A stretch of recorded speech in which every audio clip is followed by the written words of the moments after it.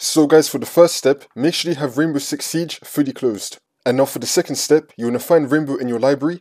Imagine that this is Rainbow. Now you want to right click on it, and then click on Properties, and then click on Installed Files. And now you want to click on Browse. And now the Rainbow Six Siege game files are going to come up. You want to find the rainbow.exe file. So it's going to be saying something like Rainbow Six Siege with a picture of Rainbow Six Siege right here, and then it might be saying .exe for you. Now once you find that, you want to right click on it, and then click on Properties, and then click on the Compatibility tab, and now you want to select Disable Full Screen Optimizations, and then click on OK. And now for the next step, you want to right click on Rainbow, and then click on Properties, and then click on Installed Files, and then click on Verify Integrity of Game Files. You want to wait for this to load.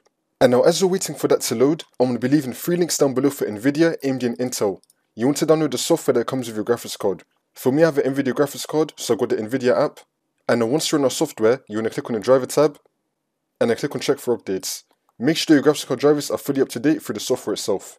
And then once your files have been validated and you've completed the other steps, the problem should now be fixed. If the problem is still not fixed, then for the second method, you want to right click on Rainbow, and then click on Manage, and then click on Uninstall.